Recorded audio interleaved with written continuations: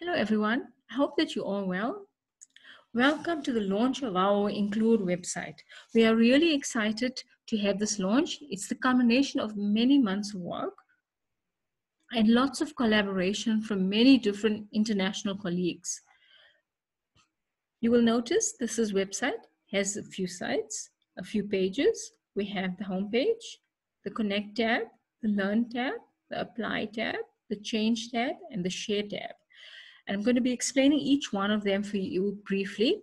And I hope that you benefit from this site, which includes various different resources to encourage and promote inclusive education and transnational co collaboration of colleagues, students, researchers to enhance and promote inclusion in higher education throughout the world.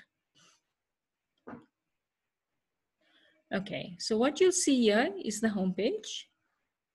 And we have our affiliates. Our lead affiliate is the University of Worcester. And then we have Boston University, UNISA, Dalton Education Services International, the University of Ibn Zohr in Morocco, a university in Brazil, ASA from India. These are our main collaborators from our steering group. When this is our steering group led by Dr. Sean Bracken from the University of Worcester, Professor Richard Jackson, Jackson from Boston College, myself, Ashiya Abdool Satar from UNISA, the University of South Africa, Dr. Elizabeth Dalton from Dalton International, Dr. Mustafa Abi from the University of Ibn Zohr in Morocco, Professor Elizabeth Cristina Costa-Renders from Brazil, and Ashna Khurana from India. And then you can meet some of our content contributors. This website would never have been possible without our content teams. We created many content teams with, in, uh, with international colleagues with great expertise. And these are some of the content managers. So please have a look at the site. You'll meet some of our esteemed and highly qualified content managers who facilitated large groups and teams to uh, get the content uh, populated for this website. All right, once you go onto the website, you'll notice that we've got some information about our Include Collaboratory. We explain everything about that. We've got some infographics here as well. Then we want you to know about our aims. If you go into the page, you'll see about our aims and our action-oriented values. That's for our web, uh, our homepage. Now we go into the Connect tab. The Connect tab actually is a place where we want lots of different people to connect via blogs and different information being shared. We have the main include blog where we will share basic information on inclusion and inclusive education. Then we have Global Connect. We will connect learners from all over the world, connect educators, we connect researchers, we connect a diversity of people and organizations from different places and different categories and different ethnicities, cultures, nationalities, and language groups. And we also connect different organizations and we provide updates on different events as training, webinars, seminars, and other related events. So these are all really important. And all these are active tabs active links. So you'll see we have our first blog by Dr. Sean Bracken. If you go into that, you can get into the tab as well. All right.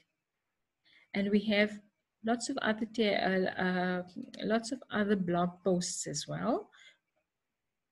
And what we'd like you to do also is to follow us on Twitter. You can follow us, you can visit us, and you can also tweet some of our posts. We've also got a LinkedIn account, so you can follow us and you can also share posts on LinkedIn. Or if you'd rather like to follow uh, by email and get some information there, you can contact us via email. Or if you'd like to subscribe to this blog via email, you can put in your email address and sub subscribe to this blog. All right. So you've seen the include blog. Under Global Connect, we have the Learners Connect page. All right. So we can go into Learners Connect and you'll see we've got a lot of different blog posts, right? We have learners blogs,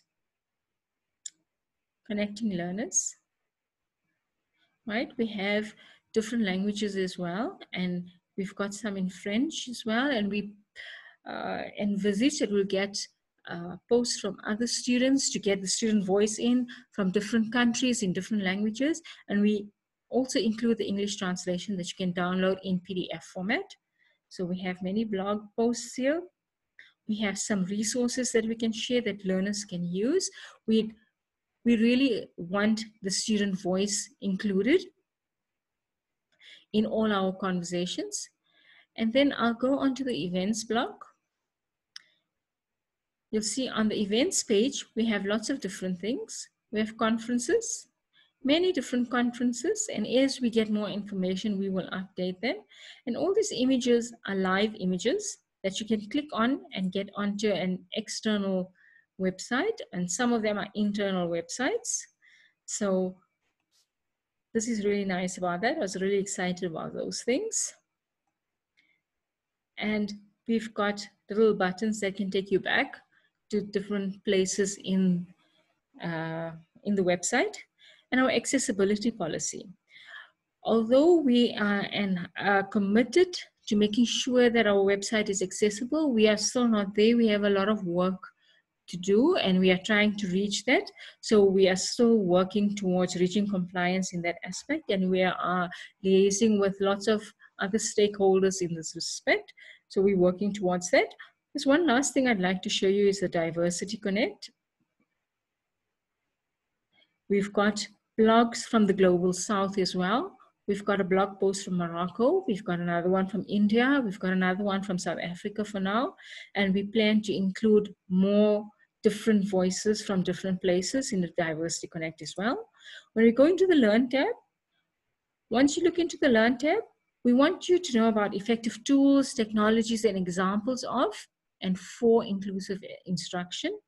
So you can explore what universal design for learning is and UDL examples. You can link to courses and programs to expand your learning. So we have lots of different things going on here as well. So you can explore this. See, we've got lots of different tech tools. We explain different types of tech tools that you can use in, for different aspects. And all these images are hyperlinked as well. So you can get onto different websites and we've also posted some videos where applicable. So it's quite exciting that we have so much resources available for you to peruse. Then we have the Apply tab. The Apply tab is there to develop accessible and universally designed physical spaces and instructional curricula through the design models, activities, and examples. You can share your own curriculum design strategies and ideas and develop partnerships for future efforts. So these are different aspects that we deal with under curriculum design. First one is uh, under apply. The first one is curriculum design. You look, we've got many different aspects under curriculum design and these also take you under take you to different pages. You'll see we've got the udl implementation cycle. And we give you examples of all of these implementation uh, methods and lots of different resources here.